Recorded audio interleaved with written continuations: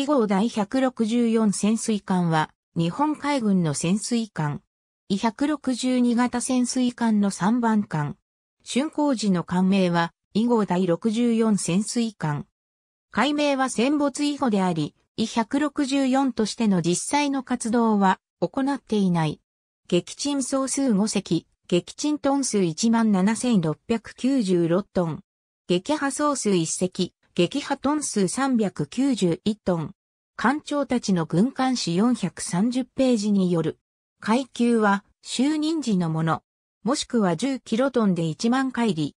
ABCDEFGHIJK ハンディ版日本海軍艦艇写真集19巻72ページ。ABCD 艦長たちの軍艦史430ページ。昭和13年6月1日付、内例第421号。艦長たちの軍艦史428ページ。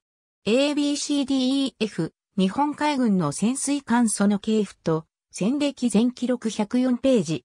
木又戦 P203 日本海軍史第7巻356ページ。官報第2755号昭和11年3月11日。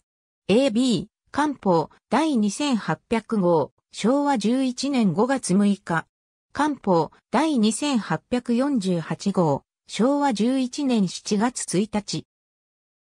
海軍事例広報号外第107号昭和12年12月15日。アジア歴史資料センターレフ C130 億7207万2900海軍事例広報第312号昭和14年3月10日アジア歴史資料センターレフ C130 億7207万5500 AB 海軍事例広報第316号昭和14年3月21日。アジア歴史資料センターレフ C130 億7207万5500 AB、海軍事例広報第453号昭和15年3月20日、アジア歴史資料センターレフクシー130億7207万7800 AB、海軍事例広報第508号昭和15年7月26日、アジア歴史資料センターレフ C130 億7207万8400